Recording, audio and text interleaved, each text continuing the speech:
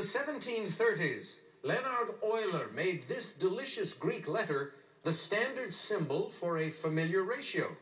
Andrew. What is pi? Pi, yes. Math for 800, please. Answer. Double. Good move on your part to go to that category.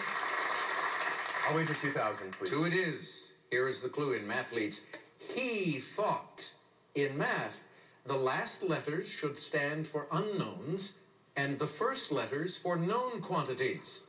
Therefore, it was.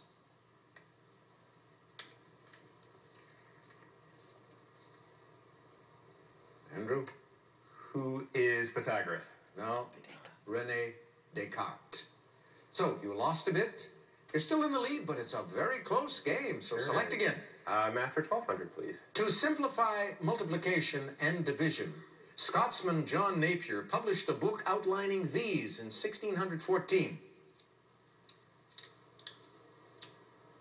Outlining logarithms. Back to you, Andrew. Math for 1600, please. John Nash had a beautiful mind that contributed to this theory of strategic decision making. Andrew, What is game theory? game theory. Yes. Uh, math for 2000. In 1995, 330 years after his death, proof was found for his last theorem. Diane, It was Fermat. good for you.